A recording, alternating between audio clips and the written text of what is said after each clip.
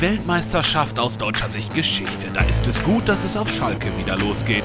Leistungsdiagnostik in Medikos mit den Königsblauen Profis und natürlich auch mit dem Neuschalker Marc Uth, der schnell von Schalke begeistert war. Trainer spielt immer eine wichtige Rolle. Ähm, ich habe äh, sehr früh gute, gute Gespräche geführt und ähm, natürlich auch dieses, äh, ja, Schalke 04 ist ein Riesenverein und die Fans, die Fankultur, äh, sowas reizt dann schon sehr und ähm, deswegen freue ich mich auf die Zeit mit den Fans und äh, ja, ich hoffe, ähm, dass ich hier genauso viel Spaß äh, haben werde wie in Hoffenheim.